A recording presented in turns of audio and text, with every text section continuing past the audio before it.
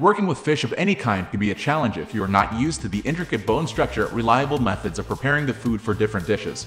Learning how to fillet a larger trout is going to be different than working with scallops. It all comes down to the types of tools you have available and your comfort level. That is why we have put together the differences between a fillet and a boning knife. Now, let's start the video to better understand.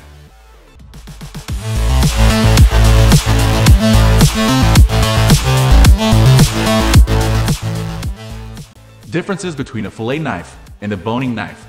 In spite of their similar shapes and sizes, there are several points of difference between fillet knives and boning knives. It's important to keep an eye out for these differences to make sure you use these knives to their fullest potential.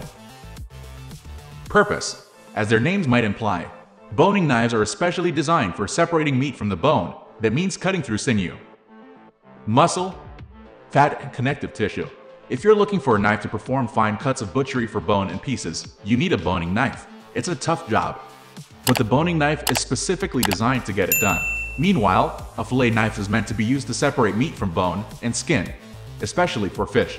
As its name implies, it's a great choice if you love to prepare and eat fish and if that's not you, it might still be a fantastic gift for the avid fisherman in your family. Blade length and weight.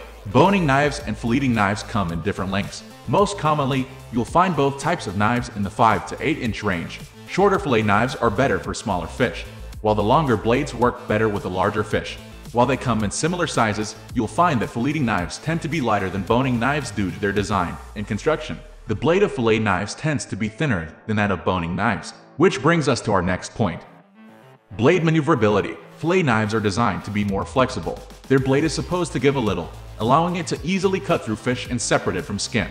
This flexibility allows for the more precise cuts required for more delicate meats. Meanwhile, boning knives are more rigid. They're designed for tougher use, cutting through connective tissue to separate meat from bones.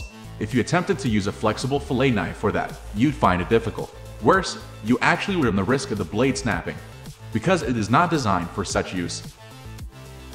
Blade design. Both types of knives tend to feature a prominent curve, but if you look closely you'll find key differences between them. It's more common for boning knives to be straight all the way to the sharpened tip of the blade. This sharpened tip serves an important function, easily piercing the meat. You'll also find less pronounced curves altogether with boning knives. Fillet knives have a much more pronounced upward curve, leading to a curved tip. This is designed for long and steady cuts, which is perfect for filleting fish but considerably less practical for other kitchen scenarios. Which knife should you buy? This will depend on the type of food you are preparing. If you work with a lot of seafood, you will want a fillet knife. If you work with a lot of land animals, you will want a boning knife. Our suggestion is to get one of each. We hope this article on the differences between a fillet knife and a boning knife has been eye-opening for your next buying decision.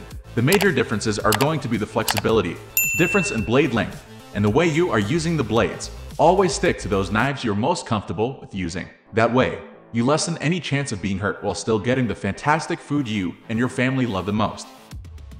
Now it's your turn. Which one impresses you the most? Let us know in the comment section below. Also, do share and subscribe to our channel for further video notifications.